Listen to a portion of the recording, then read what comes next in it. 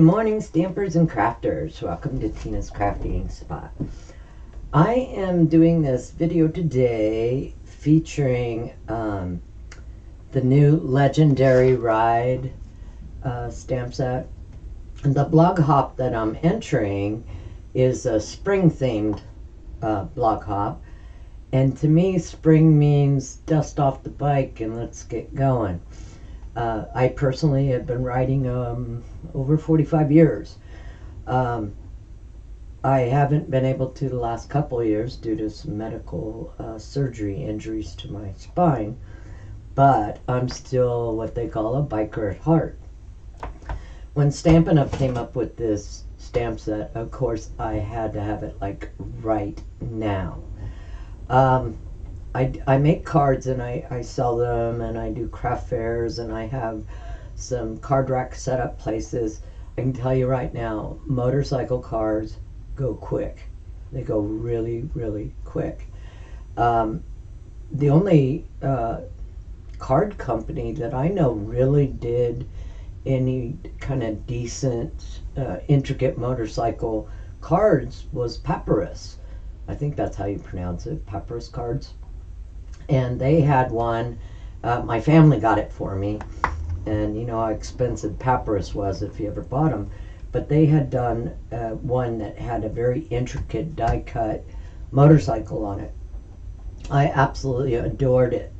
So now when this set came out and it has these amazing set of dies that you can assemble and make your own motorcycle, I just had to have it. And I'm going to tell you right now, I've made dozens of cards and I have orders for cards for these. Of course, I am part of a, a fairly big motorcycle community of people, so I get a lot of requests. So today, I want to show you how to assemble these dies. Um, it comes with these neat stamps. You can even stamp and just die cut, or you can use the dies to cut out some of the motorcycles that come on the, the designer paper. Designer paper is amazing. It's even got the diamond plate, it's got tires, it's got some gear, a couple that you can just make really quick cards with.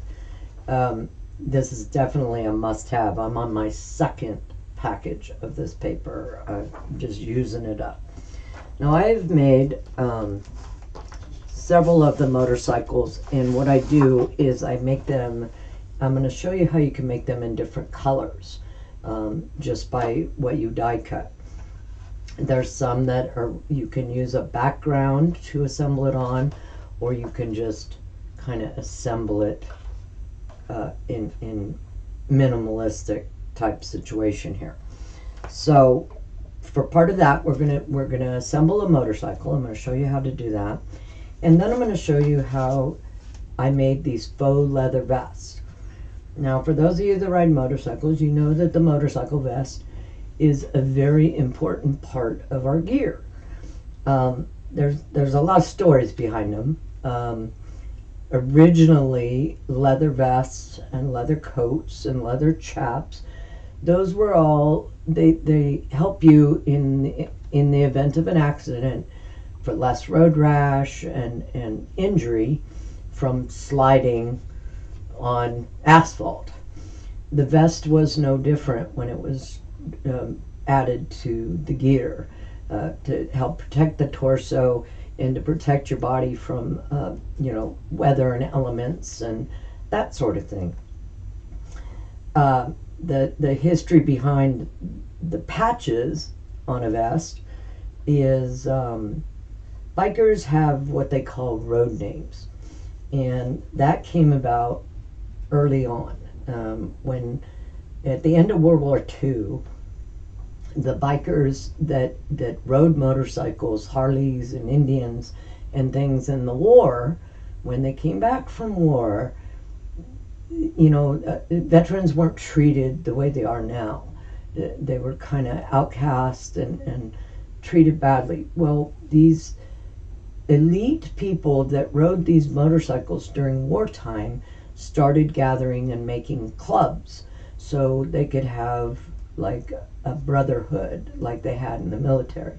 when you're in the military, which I'm also a veteran, you you you become very close with the people in which you will you spend day in and day out with in small confined spaces. Well, on these vests, they they they put the club patches in which they may have joined, where the the group they belong to. They have um, what they call road names that they use, and road names. Um, those basically came about you know, in the early days, there were outlaw motorcycle clubs, which some people still, you know, there are some out there, and and people kind of bolt together the motorcycle community in that. But a lot of the members were kind of nefarious, and they didn't want to use their real names, and it came. You usually got a nickname, and a lot of times in the military, you had nicknames, and they would transfer those over to the names and the things they put on their patches.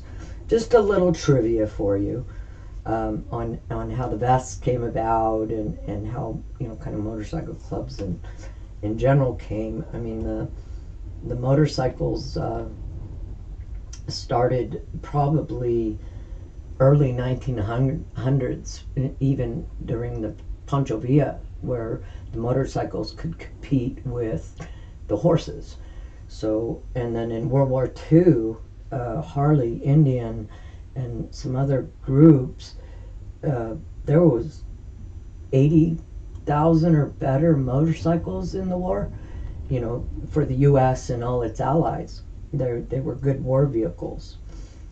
And then, you know, motorcycle clubs and stuff didn't start till probably the late uh, let's say after World War, so probably late 1940s, maybe 44, 45, somewhere in there, then motorcycle clubs came about. But that's just a little bit of history. And don't get me started. You know, I mean, I'm a motorcyclist, I'm an enthusiast, and I love trivia. So there you go. So what we're going to do today is I'm going to show you how to make these quick, easy faux leather vests. And you can also I'm going to give you a uh, template in which you can use to even cut out some of the DSP and create vests. Uh, the diamond plate embossing folder. Um, diamond plate and chrome is a big thing in the motorcycle world everybody likes what they call bling on their motorcycle and it's shiny chrome stuff it's it's a lot of work to keep clean but it looks really good so we're going to create a vest and I'm going to show you how to assemble these motorcycles. So let me jump in. What I did is I die cut. I took our dies and I die cut what we need. So you need one motorcycle kind of body, okay? And we're going to build off of that. And then I build mine. Now you don't need to do this, but I do it because it's easier to assemble is I make one black background to mount this chrome to and then build the bike off that. Then you can pick and make a color of the gas tank to match whatever you do on the fenders here.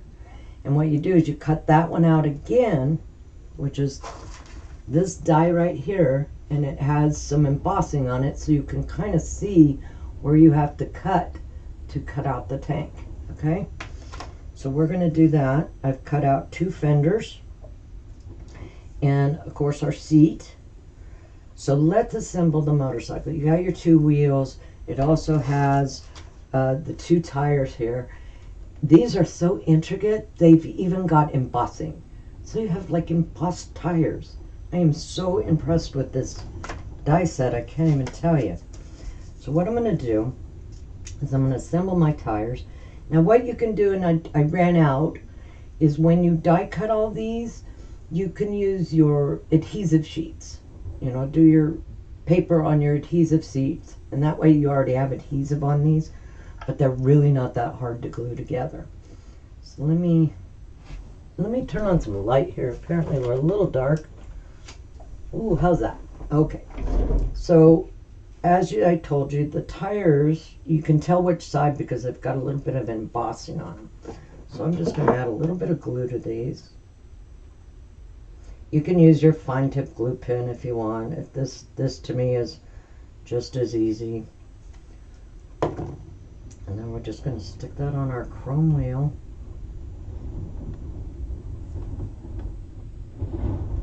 Oops. Gluing to uh, chrome paper or foil paper, it takes a little bit to dry and it does move pretty easy, so you gotta let it set. Like I said, these you can tell are which side goes where. I just use my tweezers to kind of hold it because they're so small pieces.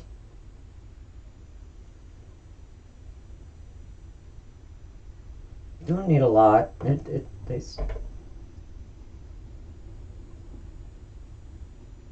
Oops, get my tweezers to open up there. Alright, so we'll set those wheels over there. Now I want to take my body and I'm going to glue it to my black piece there. A little glue randomly on here.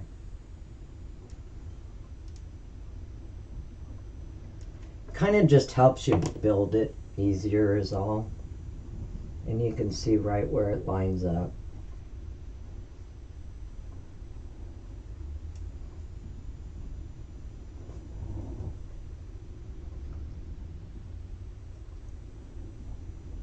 There we go. Okay, got that on there. Now we're going to take our fenders. And now on the fender, on this front one, you can just glue it straight across there. But the thing about that is, is if you've seen a motorcycle, the fork is on the outside. So what I do is I just cut my fender so that that fork is on the outside. It, it's it's just a quirky thing. You don't have to do it. Probably nobody's going to notice it except for maybe a biker. So what I do is I lay it on here and then I just mark where that fork is with a pencil. If my pencil would work. So I just mark where that is. Take my scissors. Okay. Now I'll take the back side of that. As you can see, these assemble quite quickly. So you're going to assemble it down to where that fork is going to show. Take this front one. The pieces are so small, you'll see why you need scissors, but it's, it's such a cool and we're just going to leave a gap and put that other fender on there. And don't glue it to your paper like I just did. Okay. Now the other fender you just can glue straight down.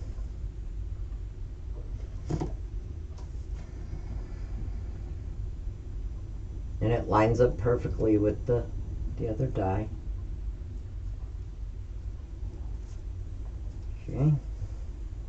Now for the tank, remember I told you there's embossing on here, so it's really simple to cut. You can kind of see right where the tank is.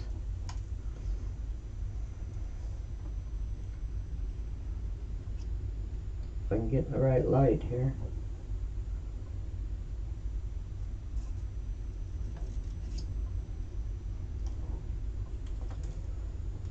I'm just going to round that a little.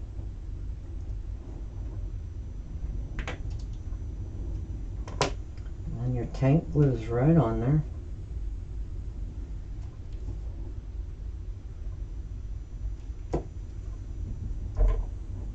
You can leave it off and just do a chrome tank if you want. But you'll see it'll line straight up there. And then you have a tiny little seat and this is the benefit of doing this black background is the seat has somewhere to sit. I do it with the split upward because then that just makes like you have your seat and then your passenger seat.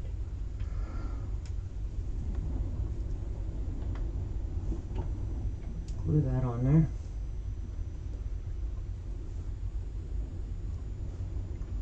And there you go.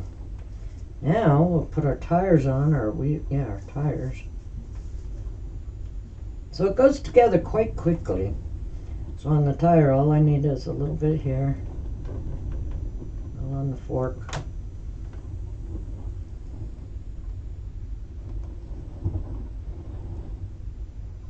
I have glue on my finger, I keep sticking. Put our rear tire on.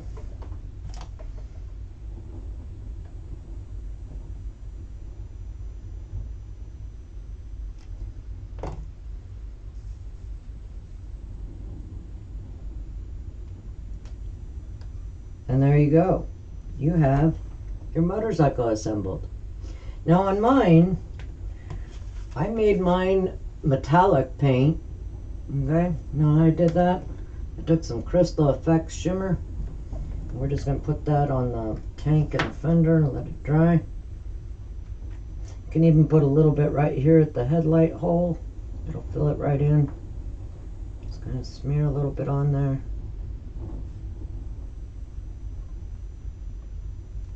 And you know how crystal effects will actually level out as it dries. So I'm to put a little metallic on the tank. Or you could use your uh, uh, Wink of Stella if you wanted. I just thought there was more kind of a metallic glitter in this shimmer effects.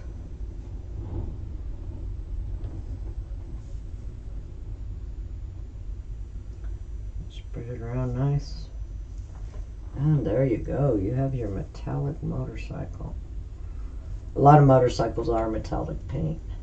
So the fun part about this is that if you have a friend that rides a motorcycle, with all the colors of designer or you know cardstock we have, you can create the motorcycle for the person that you're making it for. Say they have a blue motorcycle. There you go. So all right, we got our motorcycle done. Now let's make the vest. I'm gonna set that aside over there. Let it dry. Just... Okay, so to make the vest, I'm gonna do black leather, and I've done both black and brown, but most common motorcycle vests are black. Leather is black.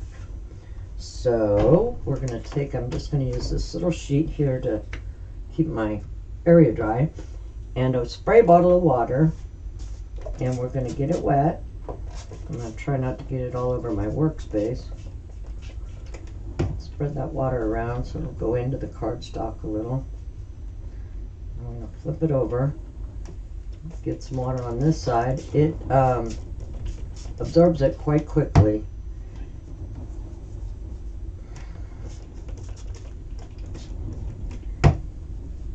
Now we got it all wet. Okay, guess what we're gonna do? We're just gonna crumple it up.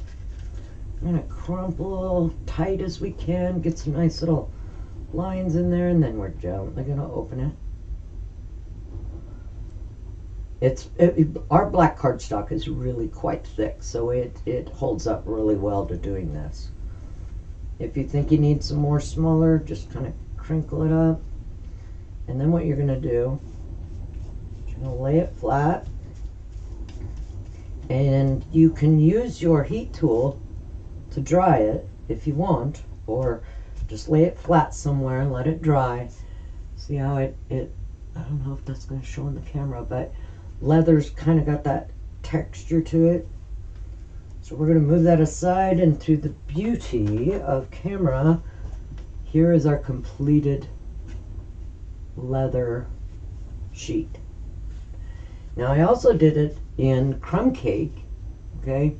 And when it dried, I took my crumb cake ink pad, laid it flat, and just kind of skimmed over it, and it gave it kind of those darker uh, marks on it. Now you can do, if you want your leather to be shiny, take your Versamark pad, drag it over it, and put clear embossing on it if you want shiny leather. But I think when you see this, when you see it in person, it's really not shown here as well. It it it's got kind of its own texture and shine and uh, everything to it.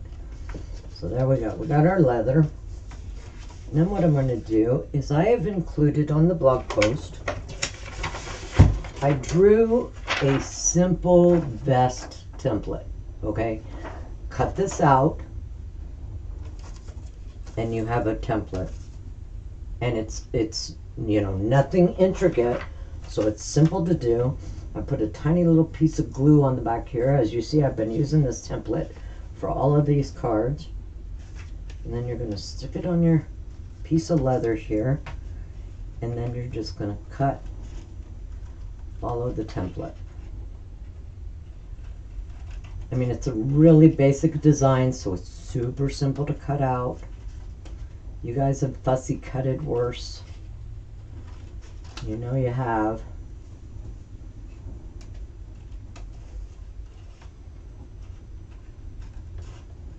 I just thought the vest was kind of a, a fun add to the set because, you know, the vests and uh, that the bikers wear are kind of the trademark of motorcyclists. I even have a vest. I have several actually. Um, I still belong to a women's riding club. Uh, we were established, I'm an original member, we were established in 2012, and we're all women. And when I started riding in the 70s, not many women rode. They rode on the back of bikes with their husbands, but they didn't ride their own. It wasn't, it was more of a male thing. So I had to learn from a lot of male bikers, a lot of interesting things. So, but now there's women everywhere riding. It's a big, big thing. And looky here. So we're just going to pop that off of there. And we have our vest. How fun is that? And we've got the embellishments that come with the set. So all we're going to do, let me grab my uh, take your pick tool.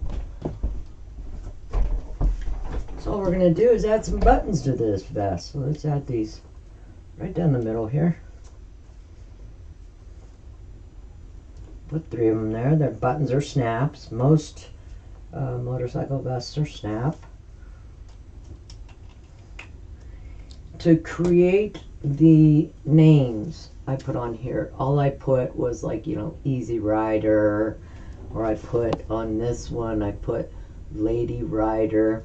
And what I did is I took my Dymo label maker and I put it on extra small and I printed out some names. I'll show you how I did this. So I printed these really small little names, Lady Rider and Easy Rider. And then I just took a marker to create the stitching because most of the, the patches have some stitching is I just took and lightly drew some stitching around these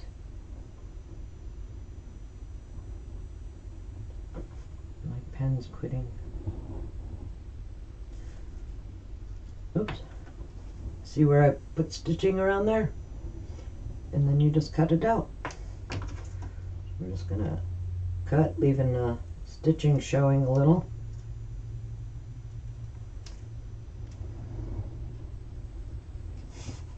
It's pretty small, but you know, I mean, this this die cut has so much detail to it. These motorcycles and stuff, you might as well make detail on your your vests and stuff. So then you just take the adhesive off your. It's pretty small See if I can get this other one off. Some of this stuff is really hard for my hand, but if I use my glove, it gives me a little more. So I'm going to put this one right here. And then I'll put either Lady Rider or Easy Rider there, depending on if it's a male or a female. Or if you know um, the person you're making this for, you know their road name, put their road name on there. How perfect would that be on a card? So then I just stamped some of the motorcycles on here, added the vest, this little name. You, like I said, you can use that template to cut out some of the um, the DSP, or you could take maybe the background of one of these papers, put it together on a card, and use your brown leather, created the same way. It's you could go on forever and ever. Um, I've been having a great time with this set. Um, this one I did leather and lace, so I've used my leather, faux leather background on there with a little stitching. Did some lace with the delicate edge dies. The greeting I did do on my computer because I didn't have this. And it's just leather and lace birthday wishes. This is for a girlfriend of mine that is very much into pink and a writer. You can use the designer paper just to create a card. This is one of the pieces of the designer paper I cut out, added a frame, stamped a greeting, done. Or keep them very simple. Sometimes simple looks the best. Add just a little bit of the embossed foil on here, some diamond plate, your motorcycle. Orange and black is a very um, Harley Davidson color, but you know, over the years, they've come out with many, many more colors, especially with female riders. Make your bike whatever color you want, match it with your designer paper, add your greetings. You can even uh, add some flames that's in the stamp set on the inside of your card. So it's springtime, ride time. We did a leather vest and how to assemble this fun motorcycle die in the legendary ride suite. I hope you try it. Um, this is going to be a keepsake stamp set. Like I said, out in the industry or in Hallmark and so on and so forth, there are minimal, and as a biker, I know this, minimal motorcycle cards available to purchase to give to your biker friends. So these are sure to go and be a popular hit at the craft fairs, and I hope you'll try them out. And keep on the blog hop and enjoy the spring fling blog hop and all the neat ideas that everybody has to start off this spring. Hope you have a very happy stampin' day. Bye bye now.